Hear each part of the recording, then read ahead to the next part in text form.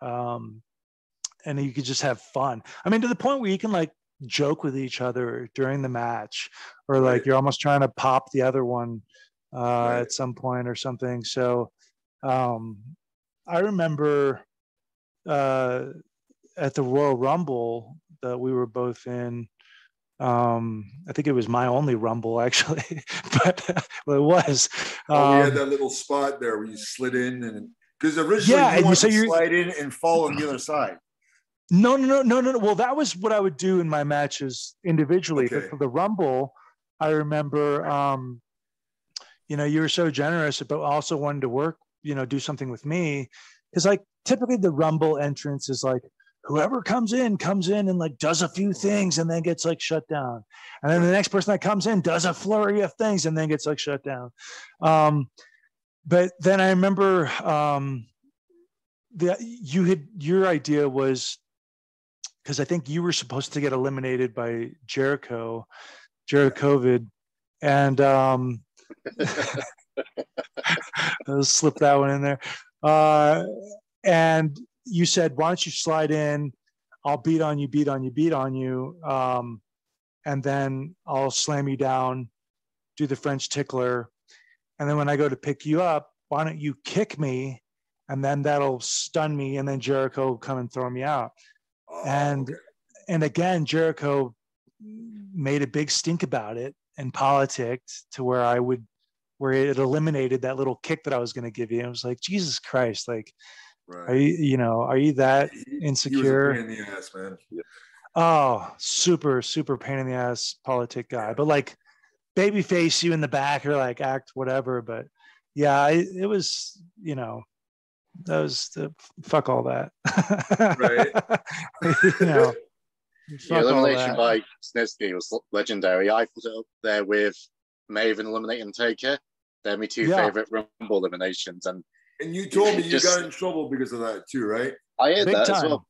Yeah, big time. Oh. Um, because like the Rumble was my favorite event as a kid. You know, like Me too. uh, growing- yeah, you know, like to the point where you know when I would go to like my friend's house as a kid, we would you know it was like if I had two or three friends over, we would each, you know, we'd we'd basically write a list of thirty guys, but we'd each play like four or five six different guys each Okay. and we would we would all get on like either like my parents big bed or like on the trampoline and we'd I do a used to roll do that. rumble where you get yeah like thrown off you get thrown off the bed or you Right. get thrown off the trampoline and then you'd come back as like the next guy that you were on the list or something and it was just ridiculous you know but um so that was my favorite event you know like you said it was your favorite event i think it was a lot of people's favorite event Yeah.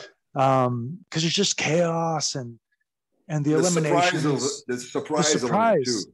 oh Yeah. the surprise and like you know it's just um and now i think that the surprises and i think that the elimination like that's one thing i will say and thanks james like that's very cool of you to say that like my elimination stood out but like going back to what rene said yeah like so i was super amped to be in the rumble and then you know nothing against gene snitsky but i was like like man it would be awesome to get like eliminated by batista or like sean or like whatever. And and you know gene uh this was after a lot of his his big push you know like he had done the like not my fault thing and the baby kicking and all that stuff. Yeah, yeah, yeah stuff that you could never do today. Right, Uh, exactly. and so I was like, huh, like I guess, you know, like they made this big deal about me winning this elimination cruiserweight match to earn a spot in the Rumble. And now I'm just kind of like this afterthought, which I wasn't expecting a big, I wasn't expecting a push or I wasn't expecting like, well, you know, you should go in there and you'll be like Diesel and you'll just start eliminating. I wasn't expecting any of this shit, you know, but at the same time, I was kind of like, that's it. Like I just get in and get thrown. Like what? So I thought, well, fuck, you know, like, um, let's make this a, a memorable elimination. Yeah. And so I came up with that elimination where I got clotheslined and did the the shooter bump off the apron. And they knew, they knew exactly what I was going to do. You know, it wasn't like I was keeping it a secret or, you know, like, how are you going to get eliminated? Well, I'm just going to get thrown out. Like, I'll just get, you know, uh, like it wasn't any of that. I, they specifically knew what I was going to do. And, uh, and so I do the bump and I had no idea they were going to send the stretcher down there. Like that was all their call. I had no idea that they were going to replay it like, you know, six or seven times. That was on them. That's all, you know, Kevin Dunn's call or whoever was back there. Um, so did I tell them to do all that? No, like that was just them doing it because it was that impressive. So then, of course, I get to the back and I hop off the stretcher and like, you know, that was fun. Uh, and Pat Patterson, bless his heart, you know, he was always um, such a wonderful soul. Like he was just one of the kindest people. Like if you ever wanted to uh, talk to anybody that you could trust, for the most part, you know, because like that word gets that it's hard to say that you could trust anybody a lot of times back then but um but pat was one of those guys that you knew that you could always get like a, an honest genuine answer out of and like a genuine response out of even if you joke you know because you joke a lot but but uh, but I loved him. Like Pat Patterson was amazing, and um, but I remember he came and he was like, "Oh my god, like that was spectacular! Like that was one of the most incredible things I ever seen. Oh my god!" Like he was such a he was he was such a fan of that spot, the elimination. And I remember um, Michael Hayes, uh, Michael, can I watch you shower Hayes? Um,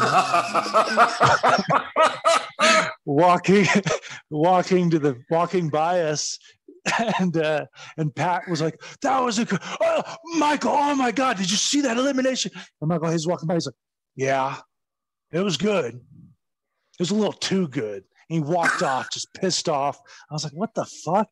Um, and then he, you know, Shane walks by and he was like, oh, Shane, did you see that elimination? He's like, yeah, yeah, it was. Yeah, and he like walked off. I was like, "What the fuck is this?" Like, I right. thought I thought the whole point of this was to like make everything spectacular and you know make this event the the whole thing is based on as right. spectacular as possible. And I'm literally taking um, a nothing little spot that y'all gave me, thankful, whatever, and making it as spectacular as I can. And and like I said, Pat was the only one that was truly, really uh, appreciative and and identified that for being what it was.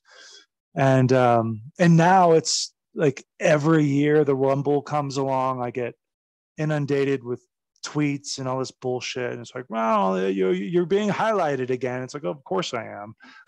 like, go big surprise, you know, like by the very company that, you know, hated it.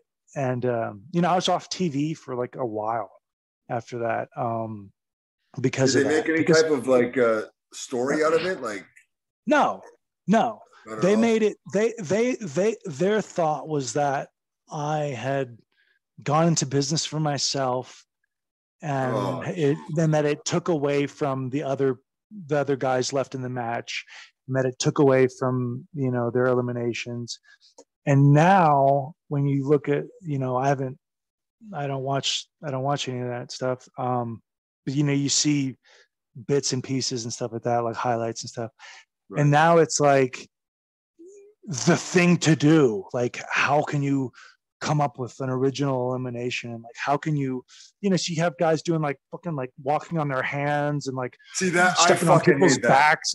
It's so stupid. It's so stupid. thing, oh, it's like it's so dumb.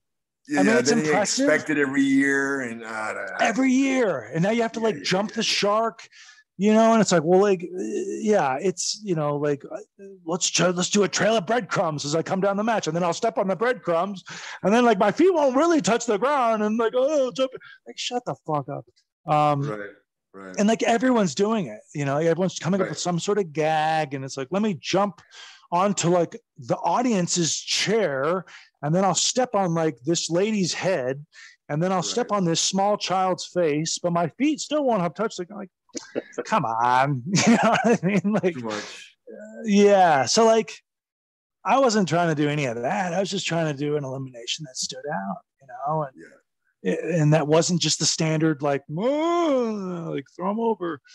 Um, because that's kind of what always uh, stood out to me was like you know these these eliminations that came out of nowhere, and um, so yeah, it's kind of funny to see that it's something that they highlight now Yeah. as opposed to you know at the time i got admonished for it quite a bit um which sucked you know it sucked but